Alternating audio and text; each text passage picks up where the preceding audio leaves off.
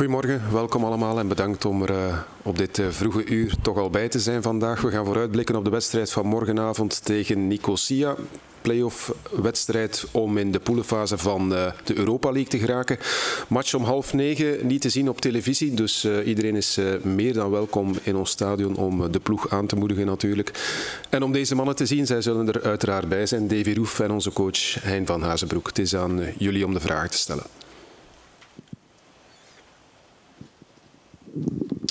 Goedemorgen, Hein. Um, vorige vrijdag vreesde je voor de knie van Hong. Hoe is het daarmee gesteld uh, vandaag? Uh, goed. Hij heeft gisteren uh, een heel deel van de training meegedaan, dus dat ziet er goed uit. Ik weet niet of het nu alle zorgen voorbij zijn, maar blijkbaar geen reactie erop. Dus ik hoop dat het inderdaad in orde is. Zijn er andere spelers met meer zorgen? Uh, voorlopig niet. Uh, buiten de gekende langtijdige uh, uitvallers.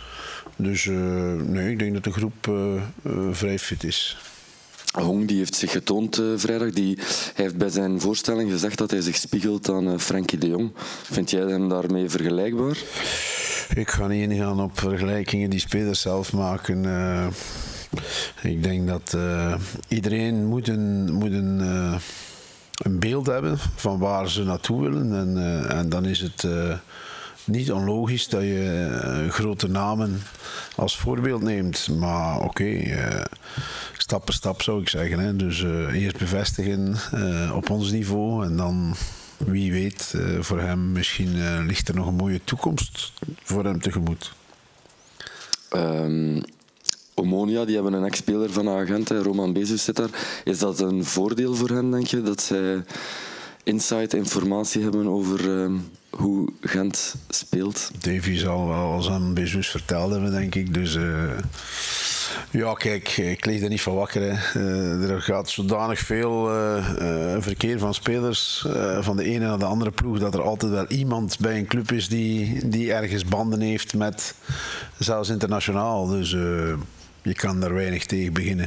Had jij hem graag gehouden uh, dit seizoen bij Gent? Nee, want anders gingen we dat al veel eerder gedaan hebben. Hè. Nu, het ligt ook aan Bezos. Hè. Er is een moment geweest waar we, waar we gezegd hebben van kijk, we willen misschien verder gaan. Er is een voorstel geweest, hij is daar niet op ingegaan. Ja, op een bepaald moment moet je beslissingen nemen als, als club ook. En, en oké, okay, ja, dan hebben we gezegd oké, okay, we gaan kijken naar uh, andere opties. Um, dus ja. Vorig seizoen hebben we uh, Gent tegen Limassol gezien.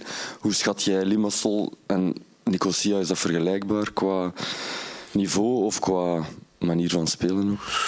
We hebben zelf tegen Famagusta gespeeld. Dus uh, het is... Uh, ja, het is, het is niet makkelijk. Uh, we hebben hier thuis gewonnen, verdiend gewonnen. Maar Ginder ja, wilden we eigenlijk ook winnen.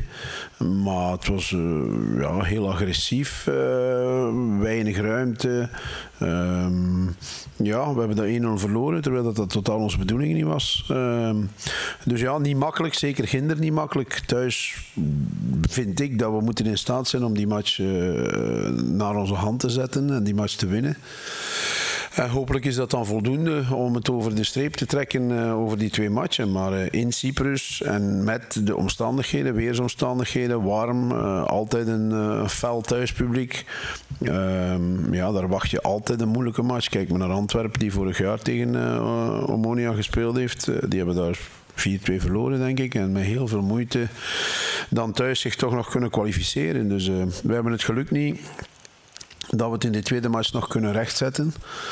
Van de drie Belgen zijn we de enige die op verplaatsing moet beginnen. Dus ik heb het altijd liever anders. Uh, die thuis moet beginnen, sorry. Ik heb het altijd liever anders, maar oké, het is nu eenmaal zo. Dus we moeten proberen van een goede uitgangspositie te bekomen uh, na de eerste match. Hen, hoe blij ben je, hoe tevreden ben je met de komst van Jens Petter en is hij al speelgerechtigd? Is er al nieuws van? Ik weet het niet. Ik heb nog geen definitief uh, uitsluitsel of hij op de lijst uh, staat. Uh, ik denk dat we vandaag nog tijd hebben om die erop te zetten. Um, ja, uiteraard blij. Als er een spits bij komt, weten we dat wij met Tissoudali toch een belangrijk iemand zijn kwijtgespeeld. Ja, dan waren wij op zoek naar offensieve versterkingen nog. Dus uh, ja, dan ben ik blij dat er iemand, iemand bij komt die in die sector ons iets kan, uh, iets kan bijdragen. En als je kijkt naar de gehele transferzomer tot dusver um, voor jullie, zeg je dan, we hebben al goed werk geleverd? Uh. Uiteraard. de intenties die er waren aan het eind van vorig seizoen uh, was om uh, ja, niet in massa te gaan uh, transfereren, maar wellicht met een beknoptere spelersgroep te gaan werken, maar te proberen van, aan kwaliteit te winnen. En met Kuipers, met Torunariga, die er eigenlijk al was. Maar oké, je moet hem toch gaan halen. met Hong en nu met met Hoge, denk ik, hebben we, hebben we kwaliteit gewonnen. Dus ja, dat was de bedoeling. Ehm, de komende wedstrijden zijn ook belangrijk voor de Belgische coëfficiënt. Is dat iets waar jullie indirect mee bezig zijn of, of, of aan denken? Goh ja, indirect zoals je zegt wel.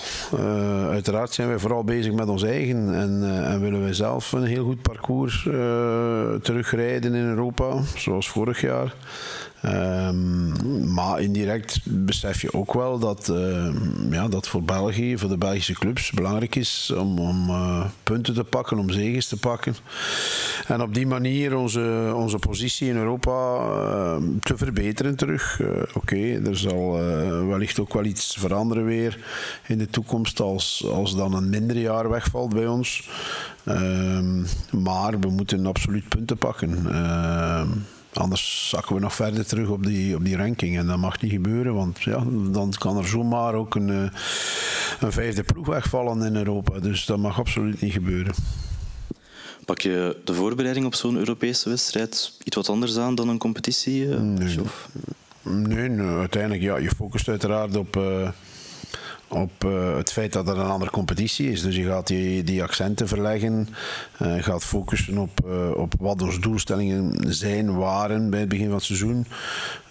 maar, maar naar aanpak toe blijft dat hetzelfde. Oké, we gaan misschien iets meer info meegeven over de tegenstander dan, dan gebruikelijk in onze competitie, omdat die tegenstander minder bekend is. Uh, dus ja, dan krijgen de spelers ook wat meer, wat sneller info over, uh, over wie die spelers allemaal zijn. Dus uh, dat is het enige verschil.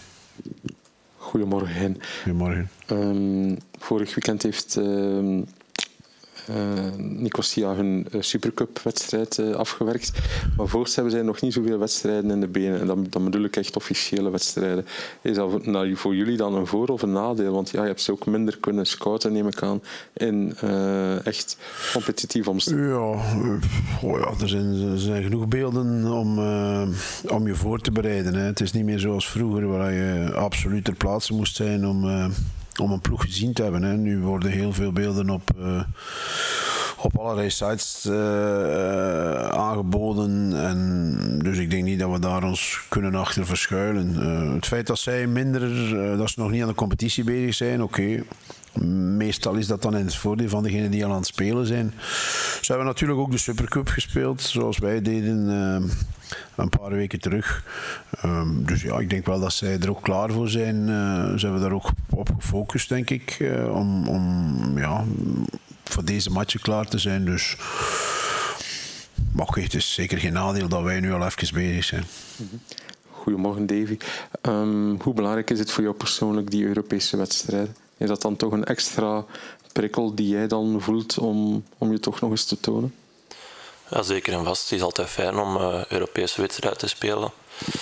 Uh, het zijn extra wedstrijden die erbij komen en uh, ja, we willen zoveel mogelijk wedstrijden spelen als ploeg, dus uh, geldt voor mij ook. Hoeveel leeft dat, het Europees voetbal, in de ploeg bedoel ik dan? ja, toch wel heel hard, hè, want we willen ze graag zo hoog mogelijk spelen, dus dat wil zeggen dat we dit seizoen de, de Europa League willen spelen. Ehm, dus ja, nee, we kijken er absoluut heel hard naar uit. En we hebben twee wedstrijden om ons te plaatsen voor, voor de Europa League. En we gaan er alles aan doen. En hoe hard snak jij persoonlijk naar die eerste clean sheet van het seizoen ook? Dat zou heel mooi zijn, maar het is niet iets waar ik mij op focus. ik denk het belangrijkste is de, de winst. Er zijn drie punten in de competitie. en als die clean erbij komt, dan heel graag. Maar het is niet iets waar ik me voor de wedstrijd op, op focus. Is het anders keeper wetende dat uh, dat er een beetje paniek zou ontstaan, of toch angst, als jij geblesseerd zou geraken? Nee, niet direct. Uh, voor mij, ja, blessures die kunnen er eenmaal komen. Dat kan ook gebeuren als op training of zo, dus dat weten we niet. Allee, toen beginnen we niet aan de wedstrijd te zeggen van ja, blesseer je niet vandaag. Ehm, maar nee, het is niet anders voor mij, denk ik. dus ja. Of is het comfortabel om eigenlijk minder concurrentie eh, te hebben? Nee, zeker en vast niet, want je moet altijd presteren als er nu concurrentie is of niet. Als ik nog slechte wedstrijden zou spelen, dan zou er ook wel veranderd worden. Dus dat is niet het geval. Hoe verklaar jij dat jullie eigenlijk nog niet de nul hebben kunnen houden? Uh, ja, er zijn een aantal wedstrijden geweest waar we op het einde domme fouten hebben gemaakt, waardoor we de nul niet kunnen houden hebben. Uh, ik denk de eerste twee wedstrijden dat we wedstrijden zijn. Uh, vooral die tweede wedstrijd dan, waar het, een nulpunt komt uit mijn, uh, mijn fout. Als we daar uh, ja, die fouten er kunnen uithalen, dat we wel gemakkelijker de nul kunnen, hebben, kunnen houden. Ook tegen Westerlo was er eigenlijk een, ja, een dom tegendoelpunt, ja, een, beetje, een beetje ongelukkig. Dus ja, dat zijn wedstrijden waar, je, waar, het, iets, waar het tegen zit en waar we wel de nul hadden kunnen houden, moest dat, moest dat in ons voordeel hebben gevallen. Voilà, dankjewel Davy, dankjewel uh, Hein. Jullie zijn welkom straks op onze training om half elf in Oostakker. En we zien elkaar natuurlijk morgen half negen hier in onze Gelamco Arena. Dankjewel, tot dan.